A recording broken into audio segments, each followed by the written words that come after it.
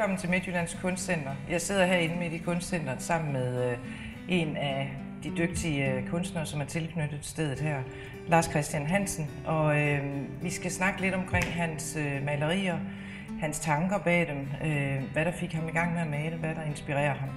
I det hele taget, det der brænder inde i ham, og, øh, og de forskellige tiltag, han er gang i. Velkommen til dig, Lars Christian. Øh, kan du fortælle mig lidt om, sådan, hvordan begyndte det for dig? Da du, øh, sådan, hvordan kom du ind på den her kunstneriske livsbane? Det er jo et, et, et spændende spørgsmål. ja. øh, fordi jeg er jo ikke, jeg er jo ikke uddannet øh, øh, billedkunstner som sådan. Men øh, jeg har nok altid rodet med noget, der var sådan hen af noget kreativt, noget, øh, jeg har altid tegnet og sådan fabuleret, og, øh, og altid været sådan meget sådan et fysisk menneske også, der har lavet meget idræt og sådan nogle ting. Øh, men ellers har det nok meget været, der hvor det egentlig springer ud, så er det egentlig nok meget omkring noget musikalitet egentlig også. Så, øh, hvor man tænker, jamen jeg er jo ikke musiker i dag, men, men, øh, men, men jeg har altid sådan lidt, jeg har altid holdt af musik for eksempel, og det vil sige, at jeg også altid holdt af at, at, at skrible og skrable og sådan noget. Øh, ja. Så det, jeg har nok altid øh, været sådan lidt fantasifuld på en eller anden måde. Ja, har du været sådan en form for skabsmusiker? Øh, er det der, der er kommet noget ind? Ja, men jeg, jeg ved ikke, om jeg er skabsmusiker. Altså, jeg er mere sådan, altså, det er måske det, man kan kalde et musisk menneske. Og, øh, eller, og på den måde, det lyder så meget højt ravende, ikke fordi jeg, jeg sådan på den måde har meget mere end andre, men jeg kommer fra et hjem, hvor, hvor vi ikke havde klaver, men hvor vi havde lidt en guitar og sådan noget. Men jeg tror, hvis, hvis det var, der havde stået et klaver, så tror jeg faktisk, jeg havde, jeg havde taget det til mig og havde begyndt at komponere eller spille på en ja. eller anden måde. Så jeg har altid, men der blev altid sunget meget, og på den måde har jeg altid op igennem hele min opvækst holdt rigtig meget af, altså af, af musik i mange genrer faktisk. Ja. ja. Er det også det, der inspirerer dig til dine malerier? Det er det faktisk. Det, ja. jeg, jeg holdt egentlig ret øh, tidligt op med at gå rundt på, på da, da jeg sådan ligesom skulle, skulle øh, kaste mig længere ud, og ligesom havde fundet, ligesom, uden at vide det, man kan sige, fundet min stil. Øh, der, der, der, der fandt jeg egentlig, altså der, de første mange år, øh, da jeg blev rigtig seriøs omkring det med at male, der, der gik jeg også rundt og kiggede på udstillinger og syntes, at der var nogle andre, der var spændende og sådan noget. Øh, det gør jeg faktisk ikke ret meget mere. Øh, fordi der, der, er ikke rigtig, der er ikke så meget, øh, der, der rammer mig nok. Øh, så hvis jeg er på en, øh, på en, altså på en messe eller på en, en, en udstilling et eller andet sted, så går jeg sådan ret hurtigt rundt og fornemmer, hvad er det, sådan, der, der rammer ind i mig. Lidt ligesom musikken faktisk gør. Ja. Øhm, og øh, ja, så, så, så, så på den måde, der, der øh, ja, der, der, altså der, der, der har, altså musikken, har, musikken har altid haft en anden stor betydning for mig også, at, at så, så blev det mere det, jeg, jeg begyndte at søge efter og, og lytte til, når jeg arbejdede. Ja. Hvor, I stedet for at gå på udstilling og se, når nu skal jeg male ligesom hende eller ham og sådan noget. Det, det stoppede for mange, mange år tilbage. Ja. Også, ikke? Det går det, ja. Så i dag, der, der er det, der er det øh, bevidst øh, valg af musik, jeg hører, når jeg arbejder. Og, ja. og jazz, eller Leonard Cohen, eller Tom Waits, eller øh, Allan Olsen. Ja. Noget, noget musik, der kan give mig noget, og kan, kan sende mig på nogle erindringsrejser. Og, øh, så, så jeg, og så sætter jeg, hvis jeg sådan kan mærke, nu er jeg ved at være i mål med noget, jeg kan mærke, der er et eller andet, øh, øh, der er noget, øh, ja, så, så, så, så kan jeg finde på at sætte et nummer på repeat og høre det 10 gange træk. Og, øh, for simpelthen at forlænge den stemning ja, og den simpelthen proces. For at blive, ja, simpelthen for ja. at blive og, blive i den, øh, altså at kan mærke den stemning, eller ja. den historie fra mig selv, eller den følelse. Øh, og det vil sige, på den samme måde sætter jeg også mig selv i gang om, om, om morgenen, når jeg starter med at male. Så kan det være, at jeg sætter noget musik på, jeg ved, det er godt at bevæge sig til. Der, der, der, der kan jeg få noget arousal på det her. Ja. Og andre gange, så kan jeg, når sådan hen ad aftenen eller nattetiden, så kan jeg sætte noget, noget, noget jazz på, hvor, hvor, hvor, øh, hvor stemningen er til det. Men også, hvor jeg kan komme ind i de lag, som den form for musik øh, kan, altså, kan, kan anspore mig til ja. nogle andre ting. Hvor meget, øh, hvor meget afspejler musikken, den, den type musik, du hører, hvor meget afspejler det sig i dine malerier? Kan du selv se en forskel på, hvad du har hørt, altså hvilken type musik du har hørt, når du har stået og malet? Ja, altså nu kan man sige, altså det, jeg er en maler, som egentlig øh, er en maler, øh, tænker jeg. Der, der, så så, så jeg, jeg gør faktisk en dyd ud af at lave et, altså et, altså noget, noget gedint i mine malerier, så jeg arbejder meget med mine lag og konsistenser. Og, øh, og sådan noget som farver, det, det kan vi snakke om lidt senere, fordi ja. det, det er noget, der er meget vigtigt for mig. øh, øh, diskussion omkring maleri og farver. Men, men, øh, øh, men, men, men hele opbygningen skal være i orden som, som maler. Øh, og det vil sige, der er jo rigtig mange lag i det. det vil sige, så, så, men jeg hører musik undervejs, så jeg, jeg, jeg kan jo skifte, jeg skifter jo øh, stemning og toneleje og det, i, altså i, i, undervejs i en opbygning, men, ja. men, men den er med. Så det er meget det der med, at jeg kan finde den sidste dedikation inde i mig selv. Øh, øh, og det sidste tema, ligesom for at tematisere, hvad skal det her maleri nu? Fordi det hver nyt maleri skal være et nyt maleri. Mm. Og sådan har jeg det meget. Ja. Øh, og det vil sige, derfor skal være, øh, der, der, der skal jeg altid komme hjem med et maleri hver eneste gang, så det skal komme, altså det, ligesom det skal komme hjem sammen, komme hjem sammen med maleriet. Og, og, og det, der, der skal jeg finde noget inde i mig selv. Og det er jo tit ansporet af, at, at den hjælp kan jeg få netop fra musikkens ja. verden. Og der er også lyrik, der er nogen, der siger til mig for eksempel, hvorfor skriver du på en malerier, eller har du, øh, er det noget, der er godt, eller er, er det moderne nu, eller sådan noget. Og der har jeg meget sådan lidt, jeg vil gerne pille mange regler ud af det at være en ekspressiv kunstner. For jeg anser mig selv som ekspressiv kunstner, ikke, ikke sådan umiddelbart som en abstrakt kunstner, men mere, øh, at, at, at, at, at det er ekspressivt, så jeg bruger min energi og mine egne dynamikker. Ja. Øh, og arbejder også meget sådan øh, livligt og dynamisk med materialerne øh, for at jeg ligesom så kan komponere det faktisk også som en musiker gør, og sætter selvfølgelig tingene sammen på den måde. Ja. Men for at det kan komme hjem, så, så, så, så skal der være ligesom en, en, en, der skal jeg komme hjem med det med, med, igennem, og det kan jeg bruge musikken til. Ja, lige præcis. Ja. Så det du ikke øh, fik lov til at komp- komponere ved, ved flylet, ja. øh, det står du så og komponerer i, øh, i maleriet? Ja. Øh, sammen med musikken? Ja. Og lærer dig anspore og henføre af den? Ja. Når du starter på et, øh, et maleri, har du så, øh, hvordan, hvordan starter du så op? Er det så, hvor du har helt klare holdninger til, til farveholdningen, til hvad det skal indeholde af farver? Eller er det i takt med musikken og sindstemningen, at, at, at de dukker op, farverne?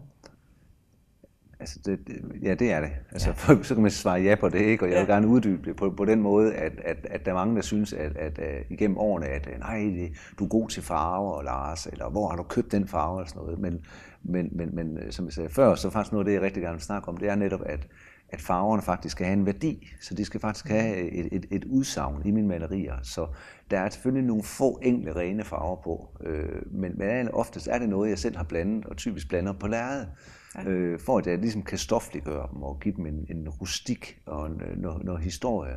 Og det, at de ligesom får netop den her værdi af et eller andet, at det, at det er enten er varme, eller det er kulde, eller det er passion, eller det er øh, ro og trøst. Så, det kan egentlig, så på den måde kan jeg egentlig bruge materialerne netop til at, ligesom at forankre nogle forskellige Øh, klange eller tonelejer, i, i, øh, som er hentet inde i mig selv, og som jeg ligesom bruger materialerne, altså øh, farverne, til at, og, sådan, at give det her budskab. Ja, formidle det videre. Ja, ja, det er ikke, men derfor vil du ikke altid kunne se øh, øh, altså, jeg ved godt, det er meget op i mit øh, sind, øh, at, at, at, at øh, altså, det er jo der, jeg bruger min fantasi til at, at lave de her kompositioner, kan man sige, af, af det.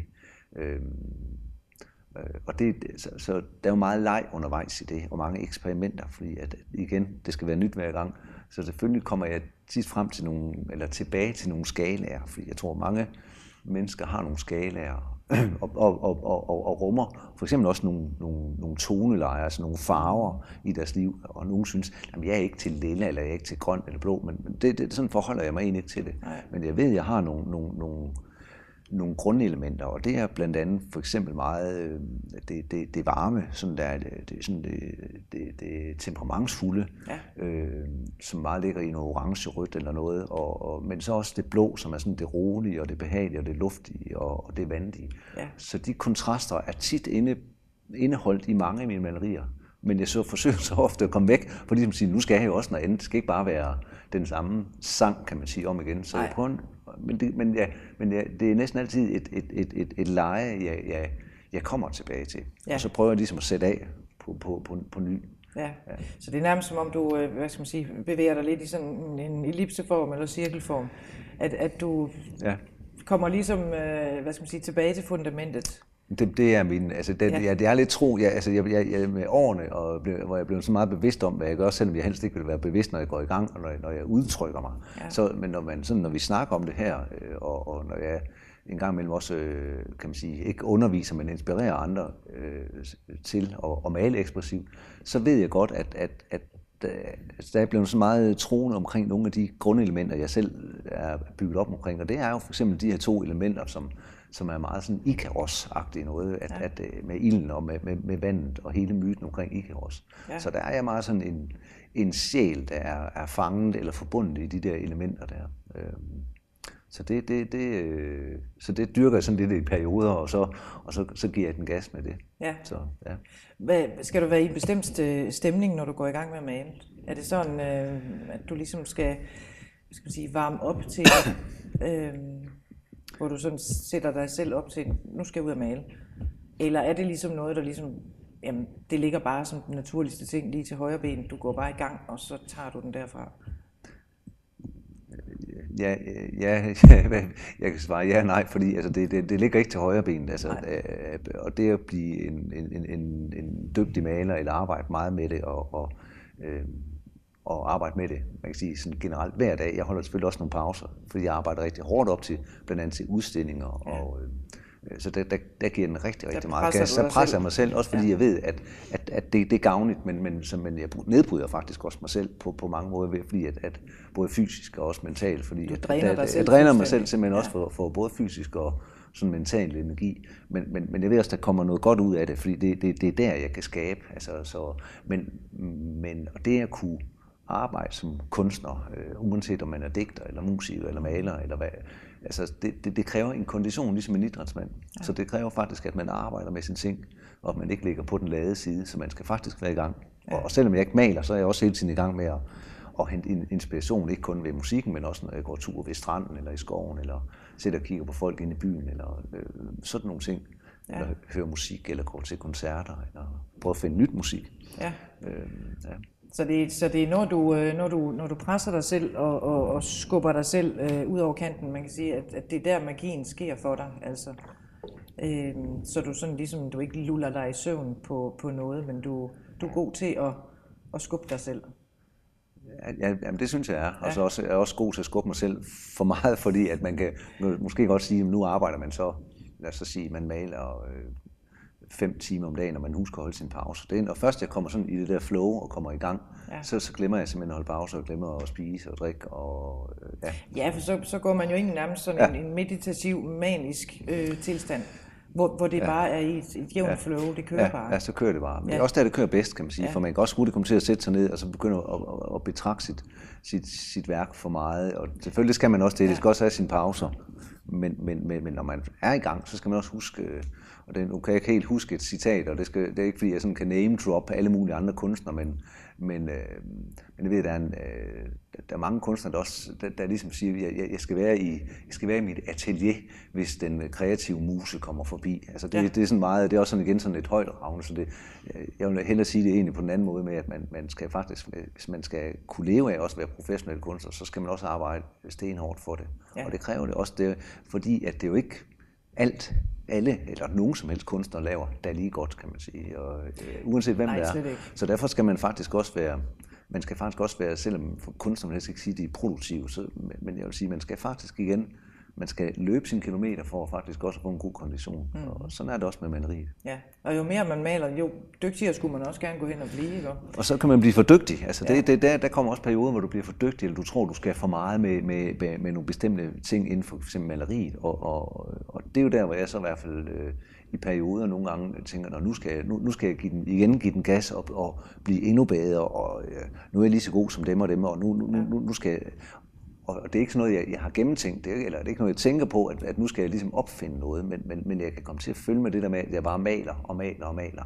Og der ligger så det i det, at hvis jeg så ikke mærker nok efter, for eksempel hvad der sker inde i mig, eller, eller jeg lige pludselig bliver øh, ude af stand til at registrere, for eksempel det musikken gør ja. øh, ved mig, men også maleriet gør ved mig, når jeg maler, og jeg så glemmer min egen øh, dynamik, mm. så, øh, så kigger det for mig. Øh, og det vil sige, det, det, der, der kigger det for rigtigt mange kunstnere, synes jeg. Så det er derfor, fordi at, at, at, at så vil der ikke være noget, man kan mærke, når man ser på mine malerier. Så kan det godt være, at der er nogle gode farver, øh, og de kan godt være smukke, og, og folk må også gerne købe dem. Ja. Øh, men det bliver mere på overfladen, men, men, men, men, men, men der bliver det mere, og det er ikke fordi, jeg har, har lavet dårlige malerier med Nej. vilje, eller nogen, der kun er smukke med vilje.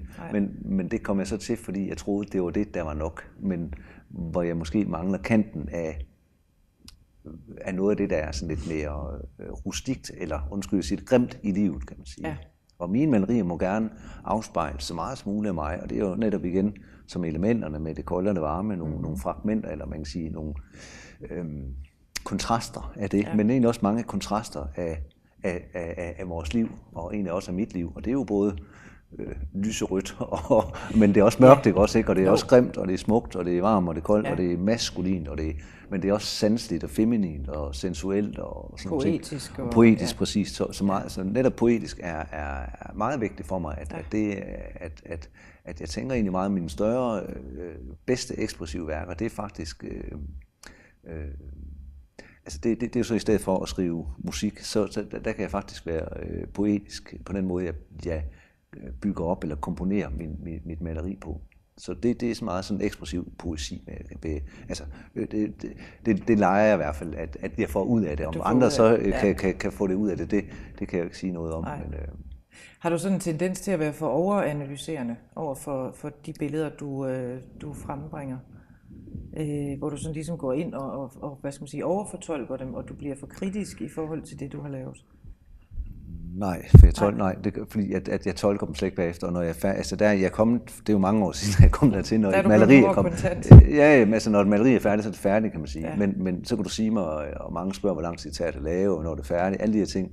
Og dat, altså igen er det sådan noget med, at, at, at jeg ved, at det skal bygges op, øh, og det er derfor igen, det synes jeg igen, ikke, at, at igen, om, hvis man tager rundt i landet, eller, eller i udlandet og på kunstudstillinger, der, der er jo meget god kunst, men også der for eksempel på et kunstakademi, som er, øh, som er meget tænkt kunst, øh, og, og skal komme med et andet budskab, end, end, end det, der kommer indenfra.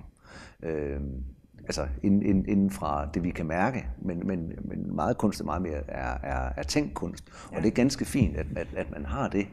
Øh, men, men meget det, der, der siger mig noget, om, om det er billedkunst, eller om det er lyrik, eller om det er musik, så er det noget, jeg kan mærke. Ja. Og det vil sige, så sådan konceptuel kunst, noget, det siger mig faktisk ikke ret meget, kan man Nej. sige. Det, for mig der bliver det sådan meget øh, lidt poppet og sådan noget. Ikke? Det er sådan lidt opstillet og lidt kunstigt ja, på en eller anden måde. men igen, ikke at det, er, at det, jeg laver, er bedre end det, men, men, men det er det, jeg kan lave, kan man sige, men det er også det, der faktisk, øh, igen, øh, ligesom inden for musikken, det er også noget af det, der, der så også giver mig noget. Men, men på den måde har jeg, at jeg ved, at maleri tager, jeg skal bygge det op, og det tager sådan og sådan, og det tager så lang tid, og jeg skal lege. Når jeg starter, så er jeg er jeg jo lejende og undersøgende og eksperimenterende og sådan noget, og så begynder jeg at bygge op, og, og der har jeg jo min rytmik og min bevægelse ja. og min fysik, og det, det bruger jeg meget. Det, det er, øh, ellers ville jeg ikke kunne, altså, altså nu siger jeg mand, men man vil faktisk ikke kunne lave ekspressiv malerier, Nej. hvis man ikke er fysisk. Fysisk og bruger kroppen. Det er simpelthen ikke. Det ja. er komplet umuligt. Så derfor ved jeg godt, at jeg skal ind og være fysisk omkring det, og jeg skal bygge op, og jeg skal konstruere os. Så det er også meget, der er også noget konstruktion og noget pustespilsarbejde i det. Ja. Men det må aldrig blive så bevidst, at jeg sådan siger, at jeg har en, øh, hvad hedder det, en opskrift. Øh, fordi at jeg har selvfølgelig nogle, nogle, nogle bevægelser og nogle, nogle, nogle håndevendinger og sådan noget, ligesom en, en god håndværker har. Ja. Men når man også har opfundet, ligesom, ligesom har fundet på for meget, øh, ligesom en, en, en opskrift, så kan man også skynde sig at gemme den væk, eller, eller brænde den, eller et eller andet, fordi ellers så kommer man til at lave igen det samme maleri hele tiden. Ja. Øhm, så derfor, men, men, men, men grundstenene skal man kunne, håndværket det skal man kunne.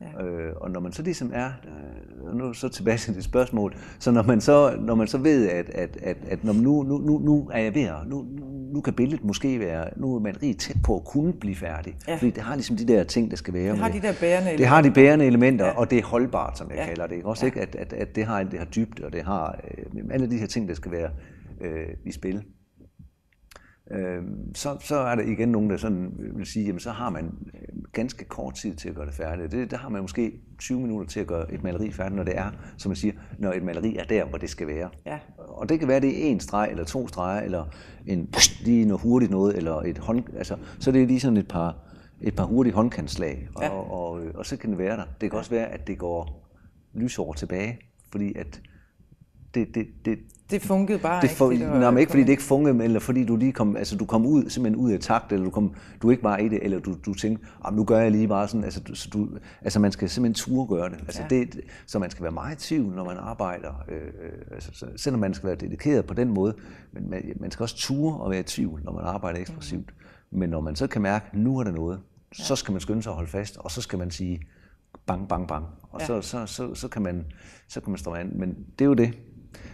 Og tilbage til spørgsmålet igen, det der med, når jeg så ligesom står og siger, er, er det færdigt? Ja, nu er det færdigt, bum, og har, har øh, fået sagt, ja. nu, så, så har jeg ikke noget besvær med at sige farvel til Nej. det og, og sådan noget. Så har jeg jo de, altså alle de der følelser. Men du har jo også fået alle de følelser. Jeg har fået alle, og alle de der historier. Det kan være både følelser, men det kan også være nogle ting, det, altså det kan være, igen kan ja. det glæde eller ked af det, men det kan ja. også være nogle historier eller nogle, nogle spændende ting, der er sket. Hændelser, nogle hændelser fra, ja. og der er jeg god til at rode helt tilbage til noget, jeg kan huske fra, jamen, altså, fra jeg var dreng og sådan noget. Så har du simpelthen ja. den store kasse, og den roder du rundt i. Så roder jeg rundt i den, ja, og det, er, og det er jo ikke, fordi jeg, jeg vil det eller skal gøre ja, det, men, men, men, men, men, men jeg vælger simpelthen at, at, at, at være åben over for det. Og som ja. en af mine venner siger, igen tilbage til musikken, siger Lars, jeg, jeg ved godt, hvorfor du hører alt det der lidt besværlig musik. Det er jo for, at du kan komme ind og det der. Men jeg kan sgu ikke forholde mig til alt det der mærkelige musik øh, i så mange timer på en dag, fordi det er jo, det, det, det er jo, det er jo vel for mange ting op i mig. Men, yeah. men, men det, det, kan jeg godt lide. Jeg kan godt lide, at, at, at, at, at der sker nogle omvæltninger, altså nogle omvæltninger i mig, imens jeg arbejder. Ja, men jeg tror også, når man nu lytter til musikken, og, og, og det er de samme, hvad skal man sige, fem øh, favoritkunstnere øh, og deres musik, man måske hører, så kan det være, at man på et tidspunkt når til, man, man hører egentlig ikke musikken, men den er der, fordi den ja. er virkelig lagret sig i ens underbevidsthed. Ja. Så, så selvom jeg gik hen og skruede ned for musikken, så vil du stadigvæk høre den. Altså indeni. Ja, ja. men det, at, men, jamen, det er rigtigt. Er og det, ja. det, det, du så faktisk siger, det er jo egentlig, at at, at, at, at jeg, kan, jeg kan også godt arbejde uden musik, fordi jeg har musikken inde i ja, mig. fordi så, du har så, jeg kan, Ja. Så det vil sige, at nogle gange kan jeg også godt have, altså temaet for et maleri kan jeg godt lige pludselig hente ud af et eller andet, fordi jeg er god til at, at associere faktisk. Mm-hmm. Øhm, og nu, nu øh, er det måske mest de mine større malerier, vi snakker om lige nu, men, men det er jo meget den måde, jeg arbejder på, når jeg arbejder på mine små sådan lidt øh, papirtegninger, ja. hvor det bliver lidt mere tegnerier, som jeg, hvor jeg får lidt mere lov til at øh, lave løse digte eller øh, løse løgn, og det jeg kalder autentiske løgnhistorier. Fordi der kan få lov til at associere på barndomsminder eller, eller narestreger, jeg har lavet, eller måske ja. kunne tænke mig at lave, eller øh, noget, noget andet sjovt. Så på den måde, der, der, der er jeg god til at bare tage noget, nogle farver, kan man sige, på, på et papir, øh, som ikke skal være så holdbart et maleri, men mere et lidt hurtigt grafisk værk, kan man sige, hvor, det, hvor der er nogle, par, nogle farver, og så kan jeg lave noget ruskum snusk med nogle hurtige bevægelser og noget. Men ja. det skal ske på den samme måde, som jeg arbejder stort på, på de poetiske malerier. Der skal det grafiske også hurtigt øh, udføres, øh, kan man sige, med lige så sikker hånd. Men, så hvis jeg fanger hurtigt så en af de der tosse tanker der, altså, som, er, som er associationer, ja. så, så, skal, så skal det ske. Og, ja. og hvis jeg når at tænke for lang tid over det, så, så, så, så, så lægger jeg det væk. Så dør den ligesom Så hvis jeg får for mange ja. gode, altså hvis jeg får, hvis mine idéer, det er ligesom, jeg er ikke sådan en, der har en skrabbog, som lærer idéer. Nej. Jeg kan godt lære temaer og øh, altså idéer til for eksempel en, en trilogi omkring, nu jeg, altså for eksempel, jeg siger som selv, nu vil jeg lave øh, øh, tre malerier, Øh, der kan jeg godt sætte på en café og sætte og tænke, hvad, hvad, kan jeg, hvad, hvad, hvad, hvad, kan, hvad, hvad skal jeg nu lave? Altså, så hele opbygningen vil stadigvæk være det samme. Og der, her øh, for noget tid siden, der sad jeg på en café, og så sagde jeg, nu, øh, tænkte jeg, nu, nu vil jeg lave også sådan lidt halvreligiøst noget, eller, eller, og hvor jeg så tænker, jamen det, så laver jeg et, jeg prøver at tænke mig til, hvordan kan jeg lave et maleri, der, der omhandler faderen og sønnen og helligånden. Mm-hmm. Og der kan man så sige, øh, der begynder jeg ikke sådan på den måde at, at, at undersøge, sådan, øh, gå, gå i dybden ja, du går på. Ikke i dybden nej, på den måde. Så for, der, der er det mere hvordan, for mig, øh, sådan igen musik, musikalsk eller fysisk, hvordan,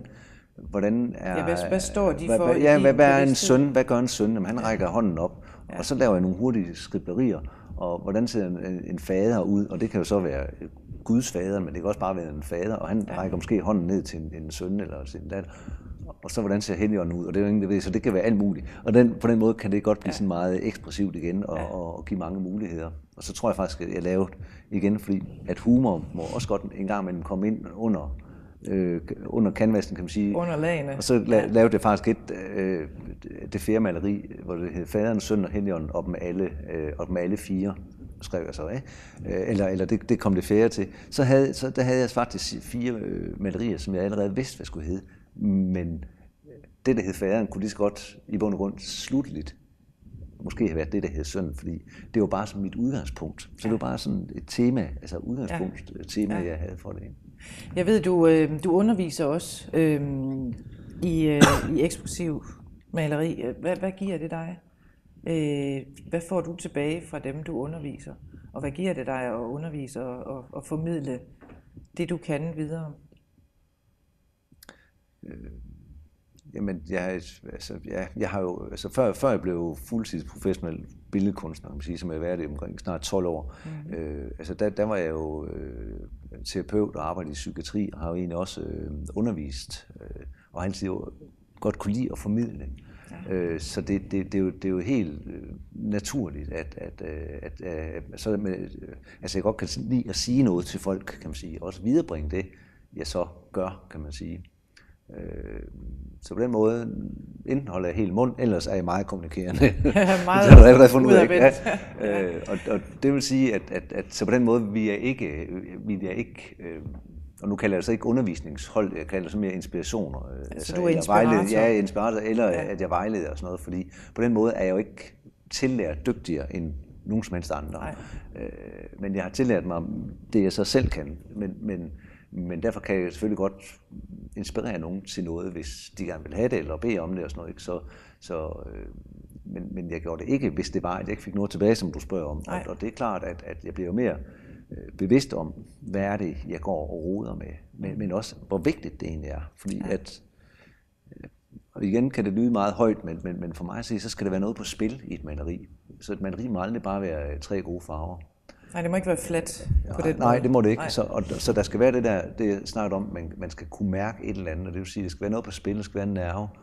Øh, og, øh, og det tænder mig faktisk lidt også at formidle det til andre. Øh, Øh, sådan at, at, at, som, at, at, at det der, at du skal kunne mærke en, en, en, en, en farve, som ikke bare er blå, men den, den skal enten være våd eller, ja. eller, eller kold, kan man sige. Ja. Også, ikke? Og en orange skal ikke bare være pæn. Så det ved jeg godt. Det er svært nogle gange at forklare ens kunder, kan man sige, eller ja. andre, når, når man snakker om i et salgsøjeblik, og du står som kunstner og skal forklare en kunde, det, hvor det skal hænge hjemme under over sofaen, fordi de er faktisk ret meget ligeglade bare Bare den orange er pæn og passer til og kuderne, eller hvad det er. Ja. Men, men, men, men for mig, som skal stå i det hver dag, der er det vigtigt, at, at, at, at jeg bliver ved med at tænde på det der med, at en, en, en orange skal, skal have noget passion. Den skal være, der skal være ild i den, eller den skal minde mig den skal om... have noget liv. Der skal den skal minde mig om en uh, filuris, eller et ja. eller andet, som jeg tabte, da jeg væltede den gang på cyklen som 10 år. Sådan noget. Så den ja. skulle kunne sende mig på de her rejser. Ja. Og når jeg står og, og, og, og maler... Øh, så, så de her historier, som du hører jeg gerne fortælle om nu, det er jo sådan noget, jeg, jeg godt kan lide at fortælle øh, lad os så kalde dem kursisterne, på, ja. på, på, på nogle hold, ja. øh, blandt andet et par gange om året, hvor jeg tager til udlandet. Fordi der kan det være så, øh, kan man sige, Altså der kan du komme ned i det sådan, at, du, at man, man egentlig også kan mærke, at det, det handler altså egentlig også om, at man tør kunne, altså, at man skal kunne få noget ud af at tabe noget, noget, øh, en halv kop kaffe på en, en du, og så sætte det på hurtige streger, og så ligesom få, få, få, få kunne mærke, hvad, hvad, ja. hvad, hvad, hvad, hvad, hvad er det her, ikke også? Ikke? Så, så, så det giver mig rigtig meget. Og, øh, ja, øh, og det er meget intens, de ja, maler rejser, du har. Altså det, det er jo en intens Jo, det er det, og jeg har også nogle altså en, altså kursister herhjemme, ikke? også, ikke? Hvor, hvor, hvor, øh, igen også, hvor, hvor, hvor jeg kan bræge og holde nogle andagter om det, jeg sådan, synes, der er vigtigt inden for, for, for malere øh, ja. område, men, men øh, øh, og, jeg kan gå rundt og vejlede lidt. Men, men, ja. men i bund og grund er der mange af dem, jeg så egentlig også har med at gøre, har jo taget tonsvis af kurser, er jo meget mange øh, sådan, på, på det tænkende plan og, og sådan det, altså, det intellektuelle plan omkring kunst, er de meget øh, ja, lad os så sige, dygtigere eller mere vidende, end jeg er, kan ja. man sige. Men, men du kommer bare ind og giver dem et, ja, et kan, spark og, og flytter lidt på det. Ja, for jeg, jeg, jeg, ja. jeg har jo jeg, jeg har håndværket med, kan man sige, ja. og det, det, det, man nogle gange tror, man kan blive en god maler, uden at kunne øh, et håndværk. Snart ja. til, at du tænker, at du kan blive en god murer, men du kan faktisk ikke øh, lave et fundament eller bygge noget op Og, der, altså, og jeg arbejder jo også med min far, som ganske ung, som var industrilakær. Ja. Så det med at bruge en spartel eller store pensler, og, og, og øh, både at spare den ud og, og, og lave sådan nogle tilretninger, men også at blande farver og blande materialer og sådan noget. Ja. Det, det var noget, jeg lærte fra ganske ung. Så selvom, og som jeg, jeg jo tænker, det kan du ikke lære på et kunstakademi. Det kan du faktisk ikke. Det kan vi øh, snakke rigtig længe om, men tiden er rendt fra os. Øh, en halv time, den flyver afsted, når, øh, når det er passionen, der går ind og tager over. Og der er ingen tvivl om, at du er passioneret, og du er dedikeret kunstner. Og, øh, og det skinner i den grad igennem i dine malerier. Øh, Lars Christian, tak fordi du gad at tage dig tid til at tale med mig. Øh, og jeg ønsker dig held og lykke fremover. Jeg synes, det har været rigtig spændende at høre. Og, øh, og jeg glæder mig til at holde, holde mere øje med dig og følge dig lidt mere, fordi jeg synes, det er, det er spændende, det du har gang i, og den måde, du arbejder på. Så tak for nu. Tak for det. Tak for, I, fordi I kiggede med. Jeg håber, I har nyt den her øh, gnist og gejst og den passion, der har været i, i luften den sidste halve time. Tak for nu.